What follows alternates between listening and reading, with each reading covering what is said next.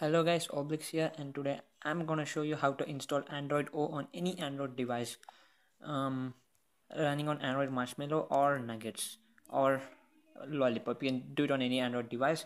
So right now I'm run running on Android Marshmallow uh, and you should have Android, oh sorry, Xposed installer installed on your device and you should have an uh, module called Android O-ify.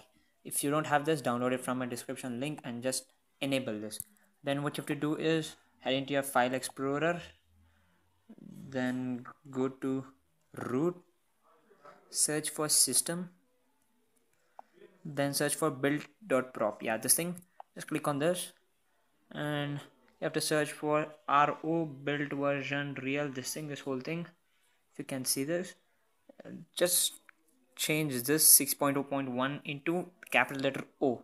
Just change this to o this thing right where the cursor is just change this to O and just save.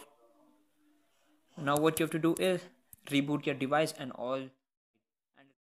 Okay guys I'm back. I have finished rebooting my device and if you can see the notification panel it's changed to Android O. It's like the Android O and everything will be changed. Just want to show you in about phone. If you can see about phone Android O let's just pop in. Yeah Android O. Just click on this and it's android o. So guys it's really so simple to install android o on any android device. So if you like my video please do like and please do subscribe for more such upcoming videos. Thank you for watching